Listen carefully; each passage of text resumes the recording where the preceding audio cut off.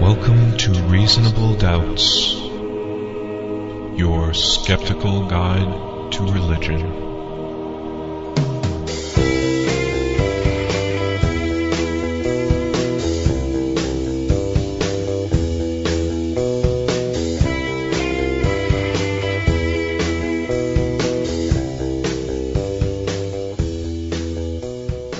Welcome to Reasonable Doubts, the radio show and podcast for those who won't just take things on faith. This is Justin Schieber. My fellow Doubtcasters Jeremy, Dave, and Luke will not be joining me today because this RD Extra is a debate. A debate on a very contentious and sensitive issue abortion. While not a topic directly related to religion, there is, of course, no denying that abortion rights continue to be a matter of of heated debate at the intersection of religion and American politics. Uh, and so we thought that our listeners might benefit from this exchange. We are debating the question Is abortion murder? My opponent, John Barron, is arguing in the affirmative. John is the author of a blog named Sifting Reality. This can be found at siftingreality.com. There, John blogs about politics, philosophy, same sex marriage, atheism, Christianity, and religion in general. And most relevant to this debate, he blogs about abortion. And he does all of this from a conservative Christian perspective. Now, the format is as follows each of us will give a 15 minute opening statement, with John going first. Uh, in our opening statements, of course, we will present our case for our respective positions on the topic of debate. Uh, then we will do a round of 10 minute rebuttals. After that, a round of 5 minute closing statements. This debate isn't a live debate. Over the last few weeks, John and I have been emailing each other our audio clips. John would email his opening statement to a specified length in audio form to me, and I would spend a week at my own convenience scripting my reply before sending it back to him. And this would, of course, go back and forth until the debate was completed. Now, the hope was obviously to put the focus on the arguments and their carefully scripted replies rather than on one's ability to think on their feet. Uh, this seemed to be a far better way to approach uh, an issue as serious as this one. As always, if you have any feedback, visit our blog at doubtcast.org. Uh, and we will be back soon with new episodes of Reasonable Doubts in just a few weeks. So without further delay, here is John Barron with his opening statement to answer the question Is abortion murder? Hello. First, I'd like to thank Justin for extending the invitation of this debate. I agreed for a couple of reasons. First, this is a topic I'm very passionate about. And two, despite being on opposite ends of a few issues, I know Justin to be a charitable and amicable ideological opponent. Uh, I think the answer to uh, this question, is abortion murder, is a very important one to get right. And before I make my case that elective abortion is in fact murder, I'd like to make a few clarifications. Briefly, here's what the debate is not about. It is not about a woman's right to choose. It's not about how many women and their doctors would be tried for murder. After all, people who murder ought to be tried for it, regardless of how many it is. Uh, the debate is not about whether or not abortion is currently the law of the land. Uh, we can all think of laws which we believe might be immoral or ought to be illegal. Uh, lastly, it's not about every kind of abortion. It's about a very specific kind, and uh, more on that in just a moment. No, the uh, the important factors are these: when does life begin? What is the unborn? And finally, what is an abortion and what does it actually do? First, we need to make sure we're all talking about the same thing when we use the terms abortion and murder. Specifically, I think we're talking about elective abortion here. An elective abortion is one in which isn't medically necessary to save the life of the mother. Uh, an abortion to save the mother's life isn't designed for taking the life of the child per se.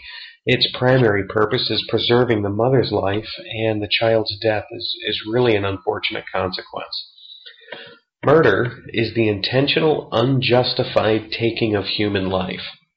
For the most part, this is a very uncontroversial definition, and really only becomes controversial when the discussion shifts to abortion. What becomes cloudy is uh, whether or not to use the term human or person in this in this discussion. I think this shift from human being to person is, frankly, it's a rhetorical trick, in my opinion. Uh, it provides refuge in muddled, fluid, and arbitrary terms.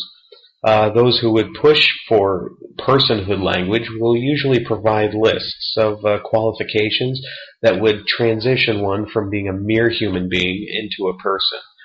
Uh, consciousness, for example, being self-aware, uh, the ability to act beyond instinct, having motives or goals, for example, temporal projection, uh, the ability to look toward the future or reflect in the past, uh, capability of reactionary emotion, understanding and awareness of love, hope, anger, the ability to appreciate beauty and art, for example. Uh, the real problem with personhood lists of qualifiers is they're utterly arbitrary. Uh, everyone has their own lists uh, with similarities and differences, and no one has any transcendent authority to impose their list of qualifiers on other people.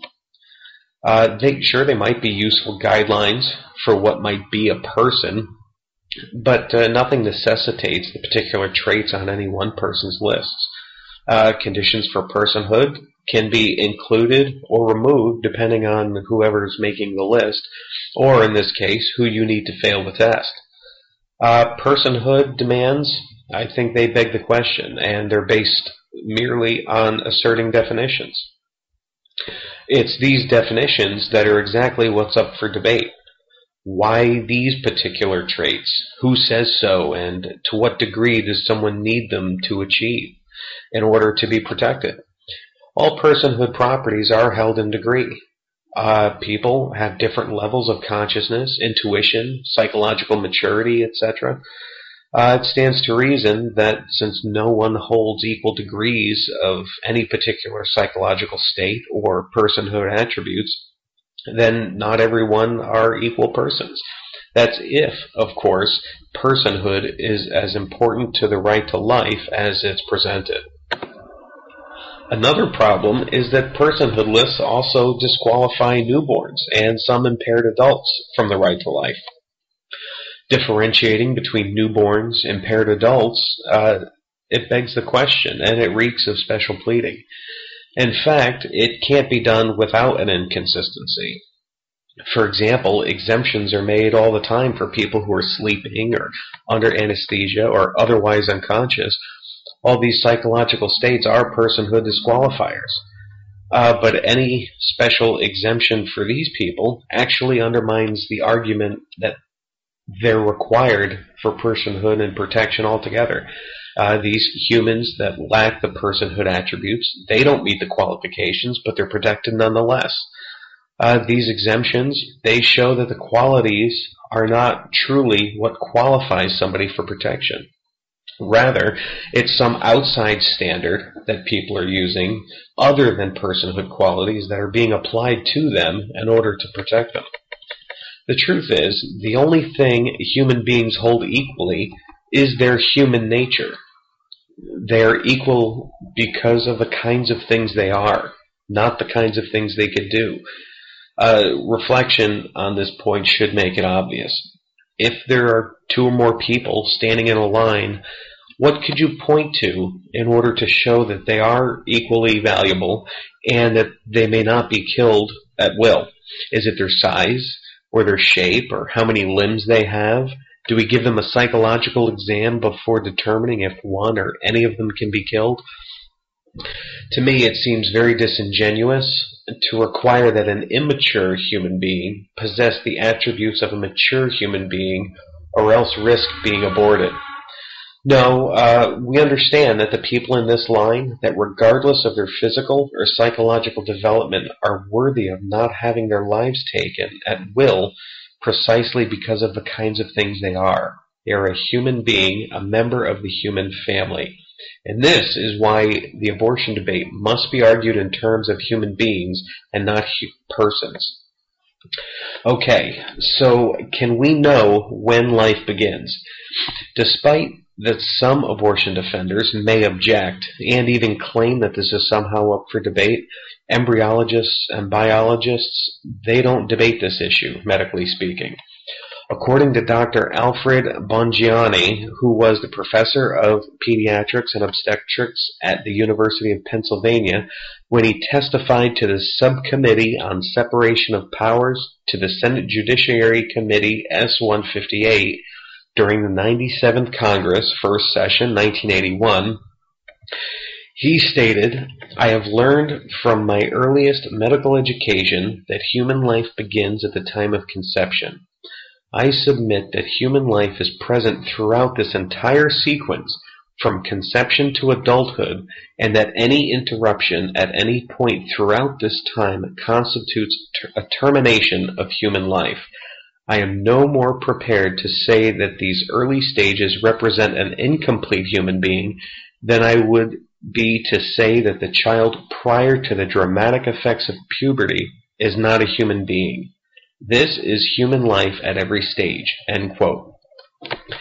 That same report concluded, quote, physicians, biologists, and other scientists agree that conception marks the beginning of the life of a human being, a being that is alive and a member of the human species. There is overwhelming agreement on this point in countless medical, biological, and scientific writings. Unquote. Even an entry in WebMD notes, quote, At the moment of fertilization, your baby's genetic makeup is complete, including its sex. Within 24 hours after fertilization, the egg begins dividing rapidly into many cells. Keith Moore, in his textbook, The Developing Human Clinically Oriented Embryology, the seventh edition, in 2003, on pages 2 and 16, quote, a zygote is the beginning of a new human being. Birth is merely a dramatic effect during development resulting in a change of environment. Human development begins at fertilization, the process during which a male sperm unites with a female ovum to form a single cell called a zygote. This highly specialized cell marks the beginning of each of us as a unique individual. Also, uh, excuse me, in, uh, in the National Geographic in 2005, an issue titled In the Womb, quote, the two cells gradually and gracefully become one. This is the moment of conception when an individual's unique set of DNA is created, a human signature that never existed before and will never be repeated. End quote. So we do know when life begins, and we know what exists at the point of conception a genetically complete living human being. Admittedly, we don't have a human being that looks fully mature, but then again, why should we look uh, why should we expect it to look fully mature when it isn't? Its life has just begun. Medically speaking, a fertilized egg is not a potential life it is alive already, and this is evidenced by some of the biological functions which begin immediately. Uh, for example, the outer layer of the egg changes composition to prevent additional sperm from entering the egg. Uh, the rapid cell division, etc. Uh, biological function is only possible if life is present. Furthermore, DNA determines what a living thing actually is. At the point of fertilization, there is a complete sequence of DNA, and at no time in our development will we gain any additional genetic information. From the point of conception, the fertilized egg is, is genetically complete and human. And this is not a potential human either. It's only a potential embryo, a potential fetus, a potential infant, a potential toddler, a potential adolescent, a potential teenager, and a potential adult. In other words, it's fully human and potentially mature. But maturity doesn't determine value either. Consider a 10 year old girl whose reproductive system that isn't as biologically mature as a 17 year old. She's not any less valuable and she's not any less human. A human being is value in virtue of being a member of the human family. The only difference between a fertilized egg and a fully grown adult is just the degree of maturity. So finally, what is an abortion and what does it do? Uh, for the sake of the audience, I will forego the grisly details of an abortion procedure unless this is up to the, up for debate. Uh, but Planned Parenthood describes an abortion as uh, uh the most common, actually, uh, an aspiration abortion, in which the opening of the cervix is stretched with dilators, basically a series of increasingly thick rods, or absorbent dilators are inserted a day or a few hours before the procedure, and uh, this slowly stretches open the cervix. A tube is inserted, and finally, either a handheld suction device or a suction machine empties the uterus either what, however you want to describe it, a live developing human being in the womb is removed, and in plain language, abortion takes the life of a developing human being in the womb. So, what are some of the reasons that women give to have an abortion? Uh, according to the Guttmacher Institute, some of the most common reasons are having a baby would dramatically change her li- a woman's life.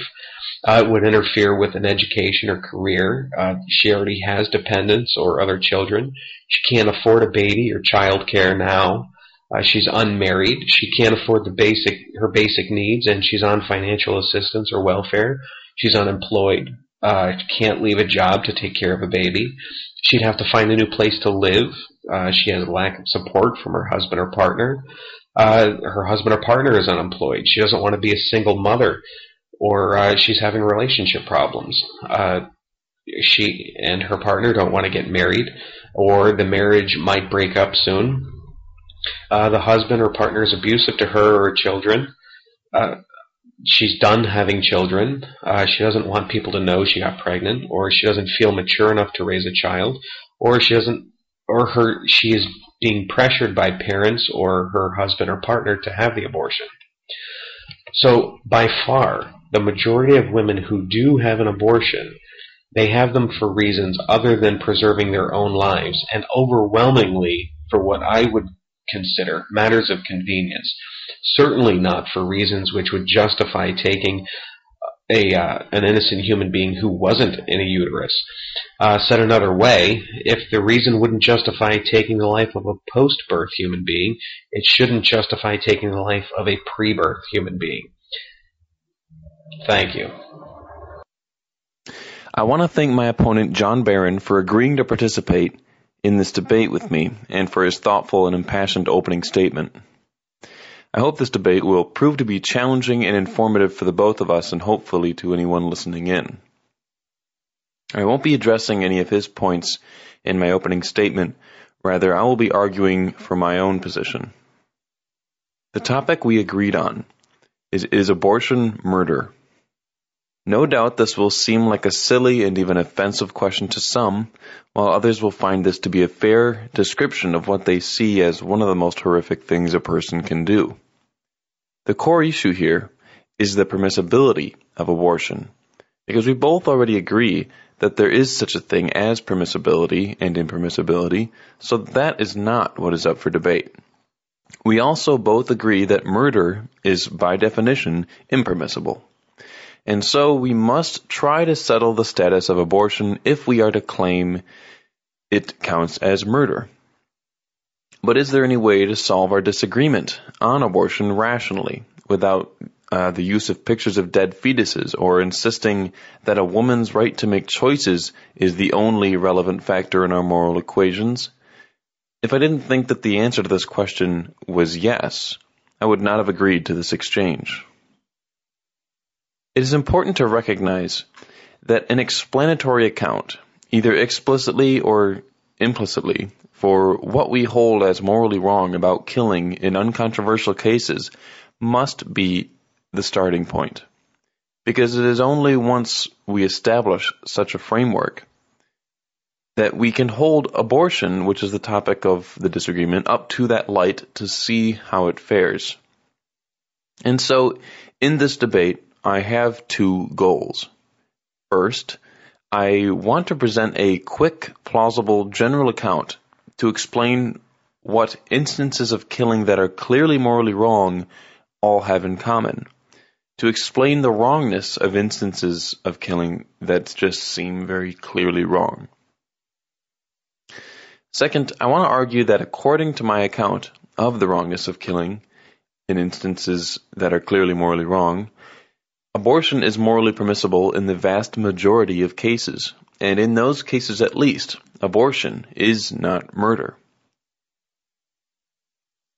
The moral status of abortion is a complicated issue in applied ethics, and it's an issue that demands our serious consideration. Any attempt at a resolution of the issue by by the way that we usually engage in moral discourse, which would be uh, appealing to general moral principles, uh, that's not going to be so easy in this situation. So, in order to flesh out an account of the wrongness of, of the instances of killing that are clearly morally wrong, it seems that a question could be asked. What is that property that is common to all instances of killing that are clearly morally wrong? First, it seems clear that after a survey of varied instances of killing that are clearly morally wrong, that moral relevance is related in some fundamental way to the possession of desires. And not just desires that are currently entertained as active thoughts, but desires nonetheless. So this distinction between desires that are active thoughts that one is currently entertaining and desires in a more background sense can be very helpful. So let's refer to these two species of desire as currently entertained desire and background desire. So think of a man who wants to justify his cheating behind his wife's back.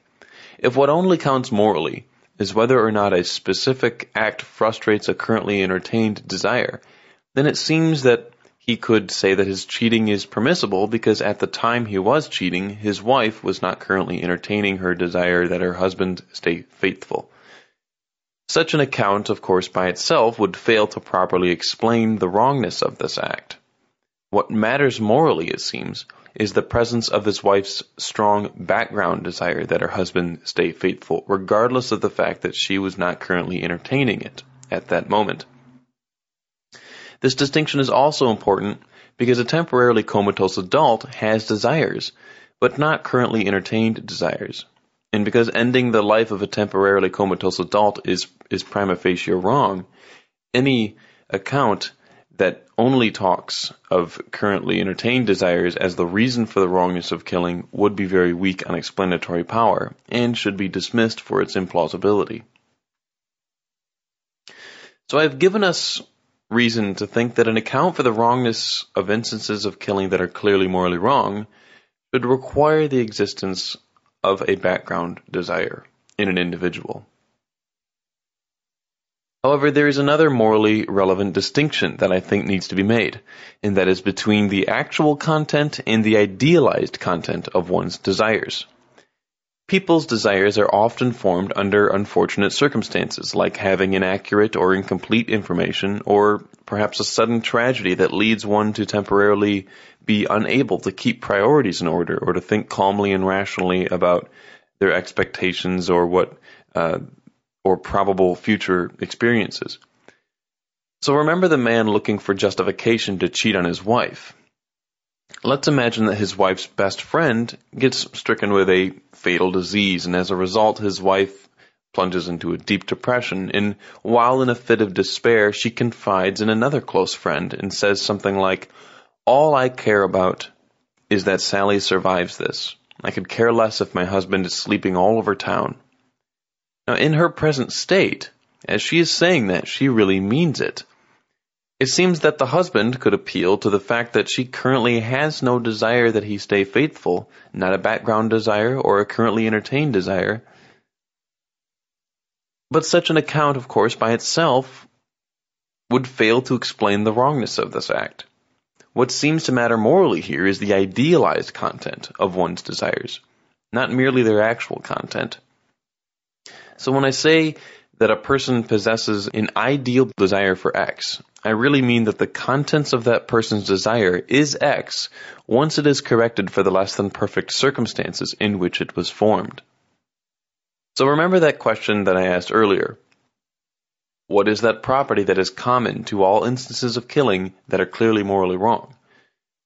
I want to claim that that property is the actual possession of a most fundamental desire, an ideal background desire for a future like ours. And so the wrongness of killing is not just wrong because it thwarts a desire, but it thwarts an extremely important desire, a desire to preserve a future like ours. Now that I have given what I think is a plausible general account for why killing is wrong, how does abortion fare when it is held up to that light? To answer the question, we need to look at something my account requires before it can be used with any real results on the issue of abortion. Notice that my account for why killing is wrong does depend on our ability to attribute background desires to individuals. But how exactly do we go about attributing background desires to individuals?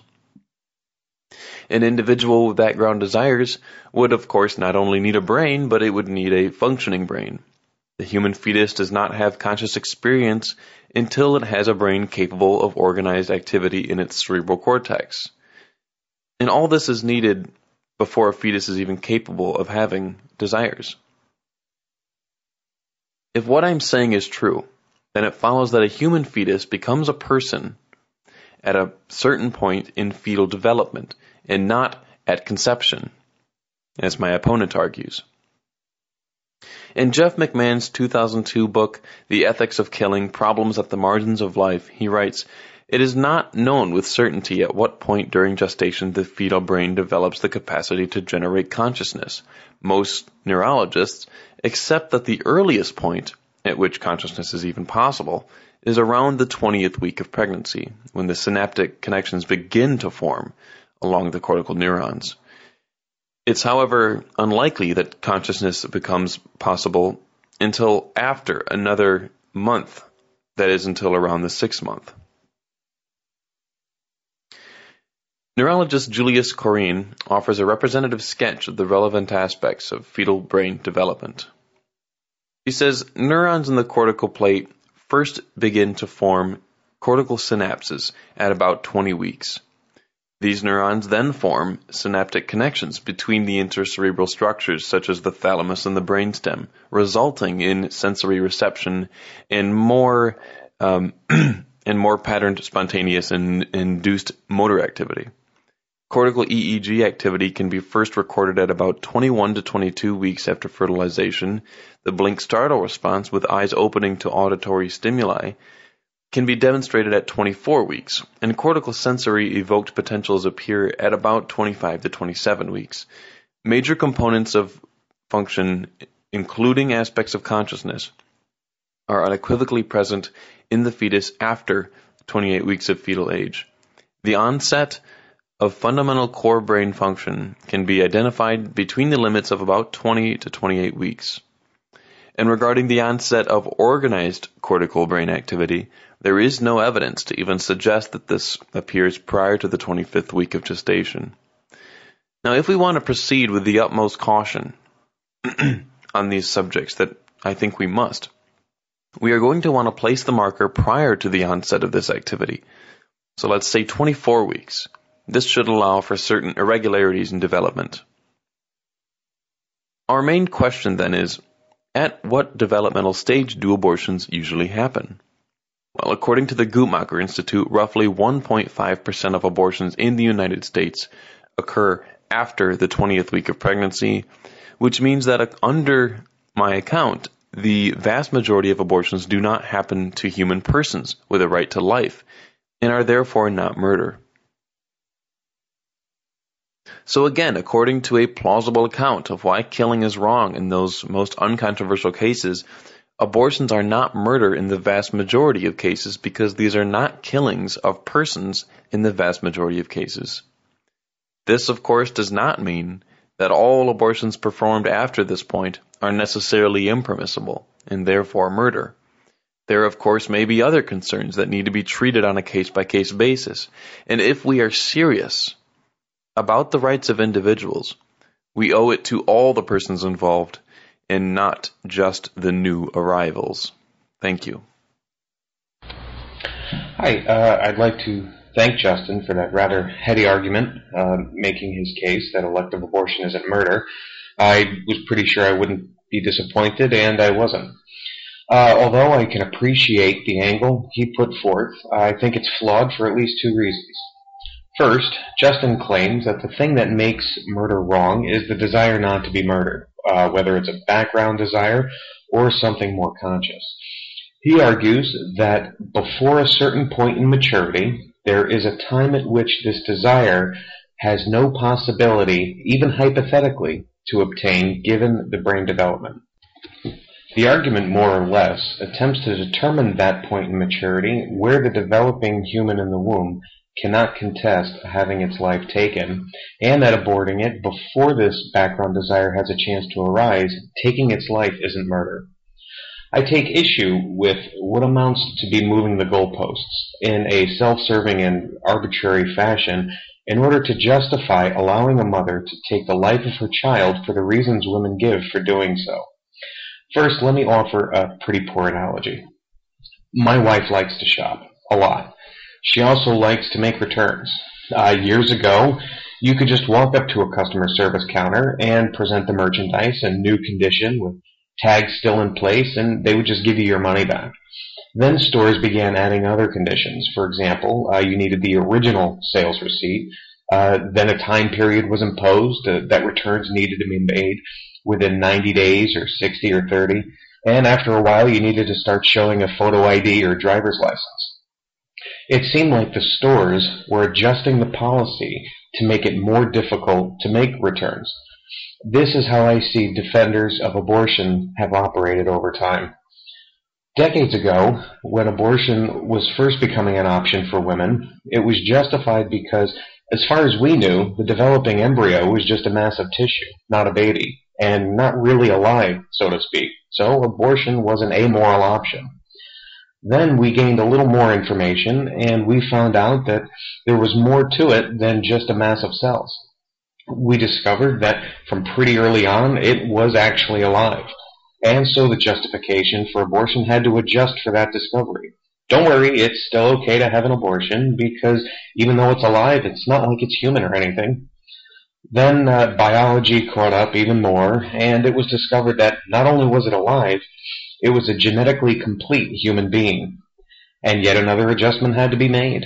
Uh, okay, it's alive and technically it's human, but since we can't really be sure exactly when life begins, abortion is still an option and you're not really doing anything wrong. But again, science made some more discoveries. Embryologists had discovered that from the moment of conception, it's alive and fully human. Not fully mature, but fully human.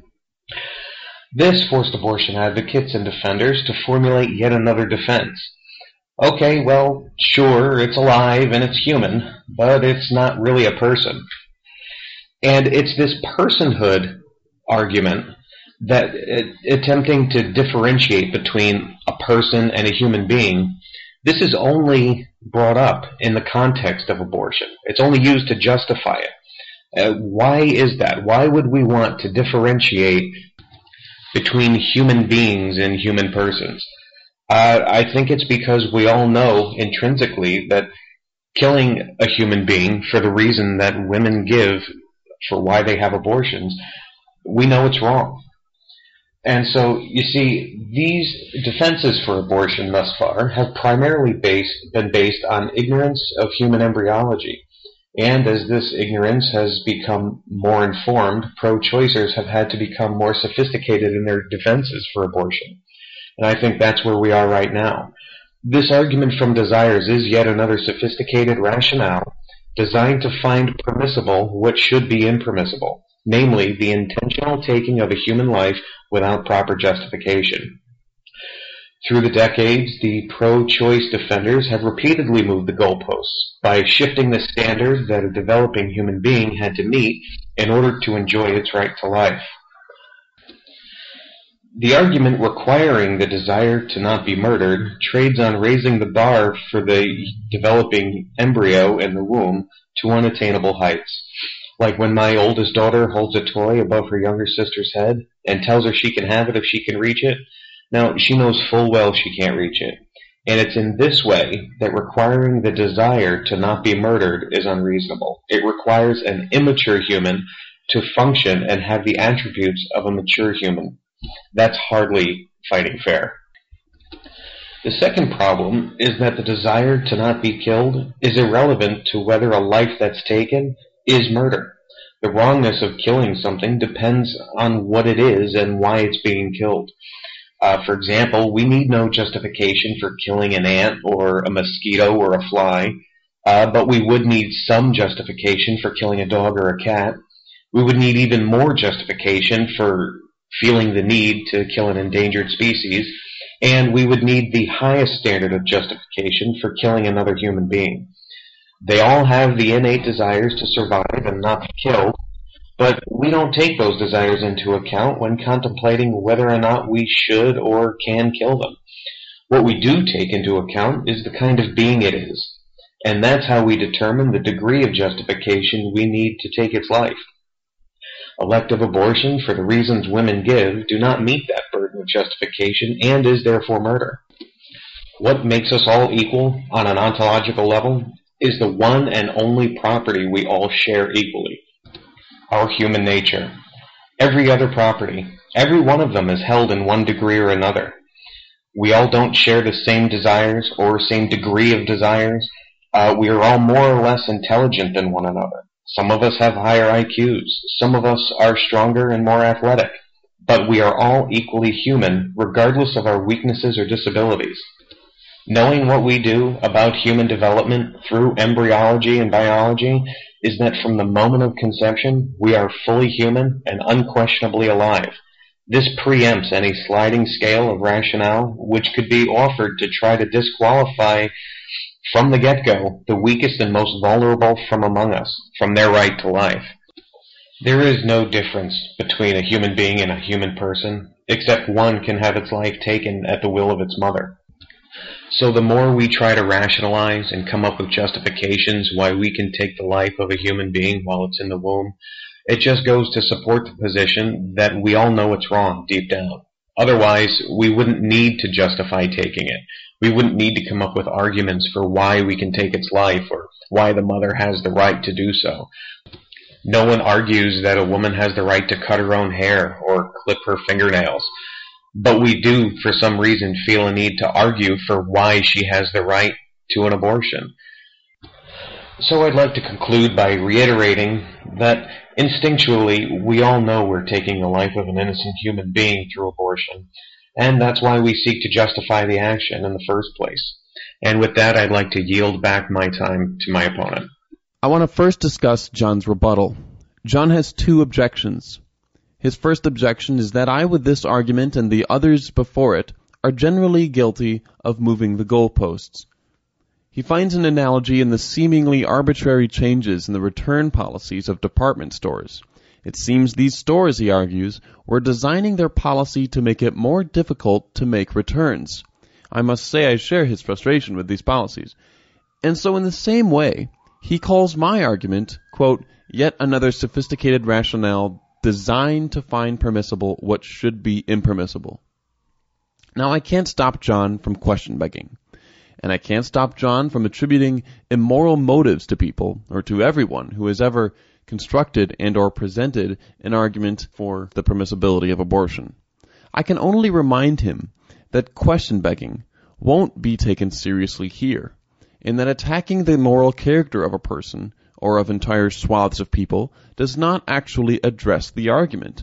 The argument I presented and the arguments uh, that others have presented stand or fall on their own merits, regardless of thinly veiled ad hominem attacks. Even if I was a horrible person, my argument cannot be dismissed by this fact alone. John goes on. He says, quote, The argument requiring the desire to not be murdered trades on raising the bar for the developing embryo in the womb to unattainable heights. He says, quote, This is hardly fighting fair, unquote. John is clearly accusing me of something, of simply placing my marker where I find convenient and self-serving, so that I can justify what he thinks I know deep down is actually murder. Unfortunately, this complaint completely ignores the fact that I devoted my entire opening statement to defending the distinctions I made by appealing to both common moral intuitions held by both sides and empirical findings of science. I find John's first objection to be very dismissive and frankly insulting. Let's now turn to his second objection. He says, quote, the desire to not be killed is irrelevant to whether a life that's taken is murder. The wrongness of killing depends on what it is and why it's being killed. And I agree. Of course the wrongness of killing depends on what it is, either in whole of its nature or in the properties that are parts of its nature. Remember I argued in my opening statement that the property common to all instances of killing that are clearly morally wrong is the possession of an ideal background desire for a future like ours. An ideal background desire is a property. It tells you something about what the being is. Now the question of why something is being killed surely plays a role. After all, in certain legal contexts, a person can surrender their right to life by attacking another with perceived deadly force, or by committing murder of their own. I, however, think capital punishment is a barbaric practice and should be seen as a source of embarrassment to any culture who legally sanctions such a thing. Now let's explore John's anti-abortion position. Does it hold weight? In his opening statement, John begins clarifying the issue of debate. He says the, the issue really is the moral permissibility of abortion in typical circumstances. Uh, he then goes on to preempt typical pro-choice arguments by correctly bringing up some of the more common pitfalls that plague such arguments. John also gives significant time to demonstrating that from conception, the zygote is alive and biologically fully human. Now, I could get nitpicky, but generally I have no issue with what John is saying here. And really, unless I'm woefully unfamiliar with other pro-choice advocates, nobody denies the fact that these are living, biologically human organisms. But as I said, it's entirely possible that I'm simply not familiar with some of the advocates that do hold such a position. The question then is what, if anything, morally significant follows from that fact? It is not at all obvious that anything morally significant follows. The word human, of course, is a biological category and won't help us very much in a debate solely concerned with moral categories. In recognizing this, John goes on to claim that the reason abortion is morally wrong, is, is that it is murder, is because it violates our common human nature. For John, it is an organism's biological membership to a particular species of primate coupled with the essence or nature of that species that makes it wrong to kill such an organism. For John, the biological category of human just is a moral category, in that it logically entails a right to life. Now, I have a problem with this. That a human has a right to life is not true by definition. Claiming that a right to life necessarily obtains within any biologically human organism requires an argument, stretching a biological category which used to mean mere species membership to include the realm of moral values needs some kind of justification. Unfortunately, an argument for this move is noticeably absent from his opening statement. But surely he knows that this is a major problem facing all of those who wish to appeal to a species essence kind of argument. Again, they must say that there is something about being a member of a particular primate species, some undefined property common to all of the members of that species, that also entails a right to life. Whenever that undefined property is revealed, the consequences show themselves pretty clearly, and they're usually very unpalatable to the pro-lifer. So I asked John over email for his justification for extending the definition of human from mere biological category to also include moral significance.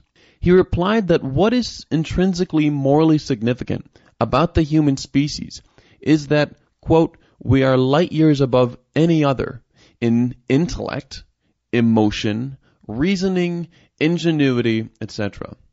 We as a single species, he says, have dominated by leaps and bounds the earth and everything in it. Unquote. Not finding this sufficiently clear, I attempted to interpret my opponent charitably. Perhaps John means something like, quote, they all possess an inherent capacity for deliberative thought, even if it may be underdeveloped or blocked at the moment, unquote. Which is something similar to what uh, Dr. Stephen D. Schwarz of the University of Rhode Island would argue. And John signs off on this clarification as being representative of his position. So the claim is that having a capacity for deliberative thought, something common to all members of the human species, is sufficient for having a more for having a right to life. Now, if that is true, it could potentially do the trick. It could make mere species membership include a moral truth, like a right to life, or as I call it, personhood. This, of course, would be the holy grail of pro-life arguments. Unfortunately for John, it isn't true. First, the idea that all humans have this capacity is simply false. Some humans are born with a brain that lacks even the capacity for sustaining deliberative thought, and yet they are still biologically human. Now, John might object and say that this is an example of the capacity being blocked. But, of course, if that's the strategy, then why can I not say, as Boonin argues, that any given animal, my goldfish, for example, is a person whose capacity for deliberative thought just happens to be blocked as well? If my goldfish had a bigger brain, then it would have the capacity for, for deliberative thought. Secondly, injuries happen. Humans can actually lose their capacity for deliberative thought with permanent damage to the higher brain regions. This suggests that humans can lose their right to life if they happen to fall from significant enough heights. And so, even if having the capacity for deliberative thought was sufficient for having a right to life, as John argues, it is still not true that mere species membership is sufficient. The man with brain damage is surely still biologically human. For my third point, why does the fact that something now has the capacity to be able to do something later limit the way that we can treat them now? This sounds suspiciously like treating potential properties as actual properties. And I can see no good argument for this. And so, at the end of the day, a being has a right to life because of its capacities and or properties, and not simply in virtue of its membership to a particular primate species. And so though he may try, my opponent cannot just arbitrarily expand a descriptive biological category as to include moral truths without taking on board some wildly objectionable consequences. Thank you. I'd like to make a, a, quick clarification before proceeding. My argument was not an ad hominem, as Justin suggests. Rather, it was an attempt to show that the abortion choice advocates have a goal in mind, that is, to keep abortion morally acceptable. They were able to keep it acceptable using their defenses based on objections to the practice. As their defenses were in time refuted by medical science, they continued to shift the reason we should allow abortion, which shows they really weren't as concerned with the truth of what abortion does, which is taking the life of an innocent human being, as they were with preserving the legal ability to do so. Justin is simply mistaken that I am attacking his character, when in reality I am attacking his methodology, which is simply the latest rung on the ladder of the kinds of arguments employed for justifying abortion. The goal of abortion defenders has not been really to determine what's in the womb and what abortion does to it as much as they have been concerned with how to ensure women can still become not pregnant. Now, I'm not going to make a, uh, complex philosophical argument as to why human beings hold a higher standing than others in the animal kingdom. In fact, I believe this is properly basic and is confirmed by our basic intuitions. Let me offer a couple brief examples to illustrate this innate knowledge. Uh, we all recognize that we do not hold animals to the same standards as humans. Animals steal from one another, they rape, they kill each other, some cannibalize, and some even eat their own young. But we don't demand justice for the female of a species who's been forcibly copulated with, and we don't call the police when your son's hamster eats some of its offspring. These animals have desires to not be, have these things happen to them. However, we are morally repulsed when these things happen to people, but not the animals. This is because we intuitively know that our value is not determined by our desires and our abilities, and we have moral standing that no other creature does. The feelings we get when it's reported that someone has sex with a corpse, for example, which has no desires whatsoever, is nothing short of revulsion. We find it highly offensive when we hear about someone going through a dead man's pockets or taking a dead woman's jewelry from her at the scene of an accident. Why are we bothered by something like this? They no longer have the desire to not be stolen from. What's the problem? Likewise, think of the universal disgust that would be experienced if we were to hear of an elderly person who died from natural causes at their home, but uh, their family cut them into pieces and left them in the freezer for decades. They have no desires. Who cares, right? Lastly, and perhaps most pertinent to the discussion we're having right now, why do we find pictures of aborted fetal humans disturbing? Little fingers, arms and legs, a torso, a head sitting in little bloody pieces, that's cringe inducing. Why is that? Because we all know that a person's value doesn't come from what they could do or what they can desire, how big they are or how mature they are. We know there is something sacred, for lack of a better term, about being a human being and even a lifeless human body that we seek to preserve its dignity. We all know it, it's morally wrong to take the life of an innocent human being without justification. We know it's murder regardless of the linguistic technicalities we create to stifle our conscience. Elective abortion is murder because of what it does and to whom it's done to. Intentionally taking the life of an innocent human being without proper justification is murder elective abortion intentionally takes the life of an innocent human being without proper justification, it follows naturally, therefore, that elective abortion is murder. Thank you very much for your time and listening to my uh, my arguments on this issue. Remember that in my rebuttal, I pointed out that one of his main objections was question begging and a veiled ad hominem attack. John did not object to my charge of question begging, but he did object to my claim that this was an ad hominem attack. So for those unfamiliar, an ad hominem is a logical fallacy, where one argues against their opponent's claim by referring to some irrelevant character trait of their opponent or opponents. Right? This is obviously fallacious because such a trait of a person or persons has really nothing to do with the actual soundness of the argument in question. Uh, now, John was submitting this goalpost moving tendency as a reason for why the argument I presented ultimately fails. But of course, even if his claim was true, and I don't buy for one second that it is, this in no way invalidates my argument. Let's for a moment grant that the pro-choice movement wasn't ever really concerned with the truth of, of abortion, but that they're simply aimed at constructing arguments to ensure that it stays legal simply for matters of convenience or something. Let's assume that. John wants us to think that if that were true, that that would be a point against the validity of the argument I presented, but clearly that is a fallacious inference. All that would mean is that pro-choicers are intellectually dishonest. It would have no, no bearing on the argument I present. I think that this is obviously an ad hominem attack, but I guess we will just have to disagree here and leave it up to the listeners to judge for themselves. I don't really know that pressing this much further is going to do that much good. Um, now, I also argued that John's second criticism of the argument I presented was based on a slight misunderstanding of the argument, and, Do- and John did not object to that. Uh, so now we can turn to John's case for why abortion is murder. So remember, John was originally arguing that abortion is wrong in virtue of the fact that we are all members of the human species, right? That we all have what he calls a human nature.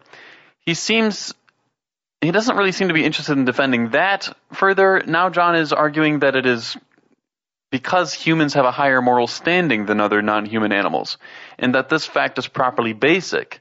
Uh, Realize, though, that this claim isn't inconsistent with my argument. I could grant this premise and still show that his conclusion about abortion doesn't follow and that mine does. Now, in support of his claim, John appeals to certain intuitions, and I think that these are worth looking at because they do touch on the issue of abortion here. Uh, he points out that we are generally, dis- generally disgusted at the idea of people having sex or stealing dead bodies, stealing things from dead bodies, right? Even though these have no desires. Uh, so first of all, I agree. People having sex with human corpses is revolting. I would also say that for dead non-human animals. My main concern here, though, is that I don't actually think that having sex with dead people is best understood as a moral issue, though. It is disgusting, but I don't really see it as a moral issue in and of itself. Um, obviously, it raises questions about the person's mental and social health, uh, and their well-being and, and their care for personal hygiene insofar as those issues affect others, then I could see it becoming a moral issue. But I, I have no reason to see the act in and of itself as a moral issue. I hope that makes sense. Um, I also agree with John that taking items off a human corpse is wrong, though I think that that's probably has something to do with the fact that we generally treat human corpses as the property of remaining loved ones uh, whether it be uh, keeping certain articles of clothing for remembrance or, or what have you. And obviously, this would apply to the first case as well. Lastly, he gets back to the abortion issue. He asks why we find pictures of aborted human fetuses disgusting. But I think that this is clearly because, for the same reasons we find blood and guts to be disgusting generally. There are good evolutionary reasons for finding these things revolting, but that is not a sufficient indicator of, of what things are morally permissible or impermissible. That, I think, is a very separate question.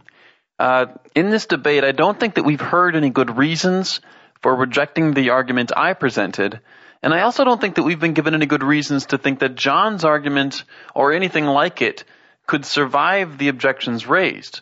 So if we are to make a decision based simply on the arguments given in this debate, I think it does seem pretty clear that we must conclude that the vast majority of abortions are not murder.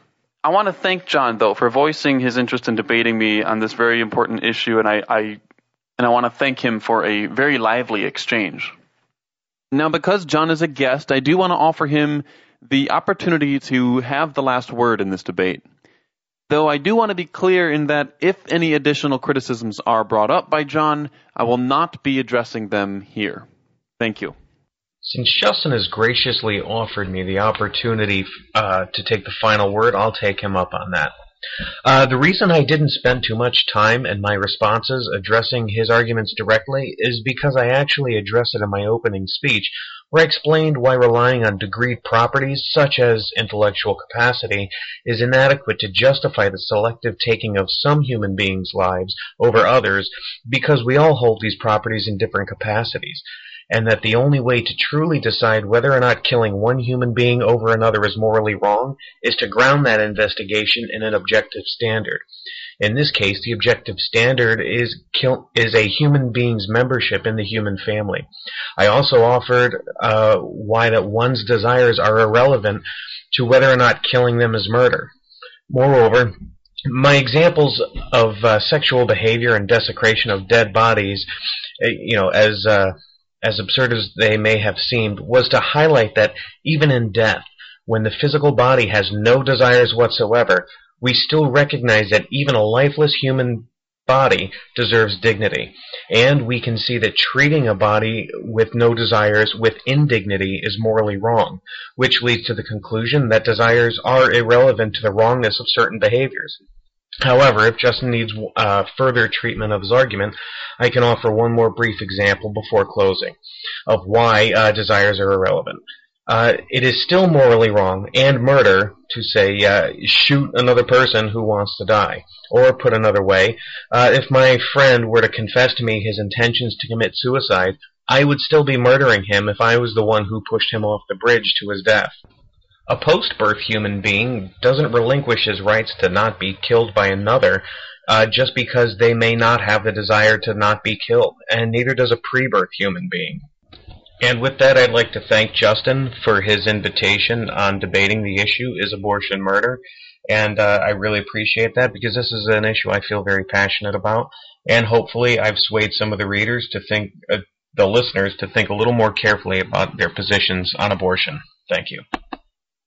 Okay, so that is the debate. Now, those of you familiar with the literature on this topic may recognize that the argument I presented in my opening statement uh, is is nearly identical to the one David Boonin of the University of Colorado at Boulder presents in his excellent 2002 book titled A Defense of Abortion.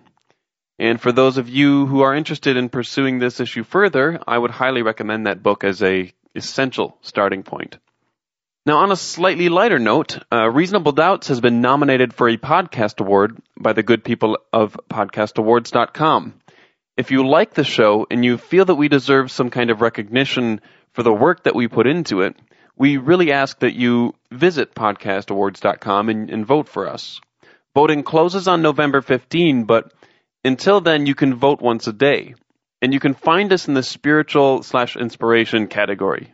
Now, I know many of our listeners enjoy Radiolab and Skeptic's Guide to the Universe, and they can be found under the science category, so make sure that you pick your favorite there as well. And that is it for now. Uh, we will be back soon with more episodes of Reasonable Doubts, your skeptical guide to religion. Catch up on past Reasonable Doubts episodes or to email your questions or comments, check out www.doubtcast.org. Reasonable Doubts is a production of WPRR Reality Radio. You can find out more about Reality Radio at publicrealityradio.org. Reasonable Doubts theme music is performed by Love Fossil and used with permission.